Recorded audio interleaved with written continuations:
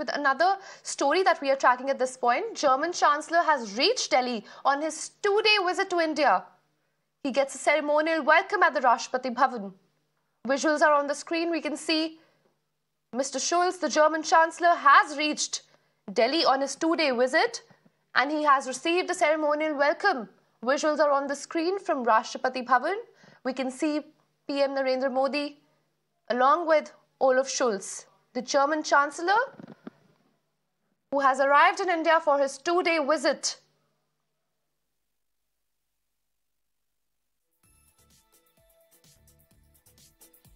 Visuals are on the screen live. We can see Olaf Scholz, who has arrived to Delhi for his two-day visit from Germany.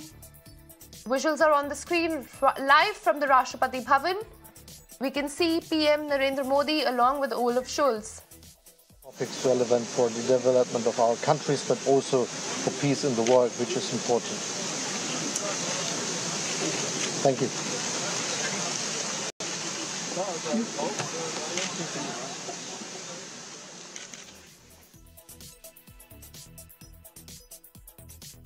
Olaf Scholz, German Chancellor, has arrived in Delhi for his two-day visit to India. Visuals are on the screen live from Rashtrapati Bhavan. We can see Olaf Scholz, the German Chancellor, along with Narendra Modi.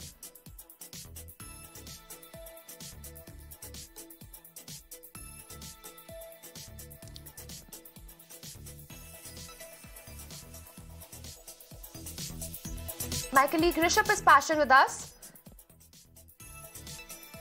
Rishabh, we can see that uh, the German Chancellor has arrived in Delhi. For a fact, we can see uh, him shaking hands with PM Narendra Modi live from Rashtrapati Bhavan. So what is on the agenda for this meeting, for his two-day visit, and what all will be discussed? Because for a fact, we know that various projects are on the table, be it green technology, sustainable development, etc. Over to you. This is a remarkable visit by the German Chancellor. Remember, this is the first visit of a German Chancellor, a standalone visit for that matter, to India since 2011. In, in 2011, India and Germany started the Intergovernmental Consultation, IGC, uh, which is a complete government-to-government uh, discussions that happen between the two countries. And this uh, Chancellor visit to India um, uh, adds to that. Apart from that, the German Chancellor is visiting with, along with a lot of you know, uh, business uh, members of Germany and both sides, be it India or Germany, the business tycoons will meet and discuss further collaborations. Apart from that, if you see, this visit comes at the backdrop of one first anniversary of Russian invasion in, uh, you know, uh, uh, Ukraine. And remember, Germany and Poland jointly have hosted around 26 lakh refugees from Ukraine since the war began uh, last February. Uh, that, that will also be discussed. Uh, PM Modi and Chancellor Olaf will be discussing a lot of uh, uh, international issues as well, apart from the mutual issues that uh, bind both India and Germany. Or, having said that, we'll have to also see that how things unfold from here. Remember, Chancellor will be here in Delhi for today and will move to uh, Bangalore tomorrow to hold another uh, other business meetings. Apart from that, there is a meeting scheduled between the Prime Minister and Olaf, uh, uh, Chancellor Olaf at Hyderabad House later today.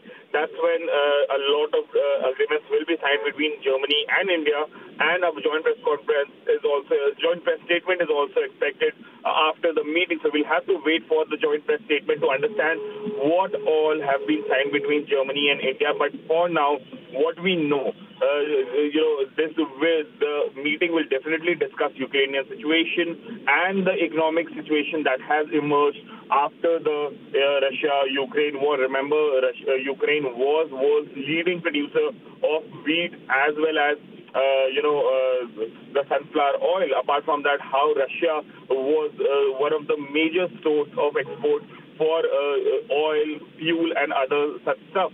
A lot of things are on cards. We'll have to wait for the joint press statement to understand. Remember, only yesterday when uh, the UN uh, General Assembly passed the resolution, India once again abstained from voting in the Russia-Ukraine, uh, you know, uh, the, Russia-Ukraine uh, resolution. So uh, European countries, along with the United States, have been trying to get India on their side, while India has choose to be neutral uh, till now. So we'll have to right. wait and see how things unfold from here. But a remarkable visit, for that matter, by the Chancellor to India. Thank you, Rishabh, for bringing us all the information. We'll be coming back to you once we have more updates on the same. Time for a short break. We will, we'll be right back.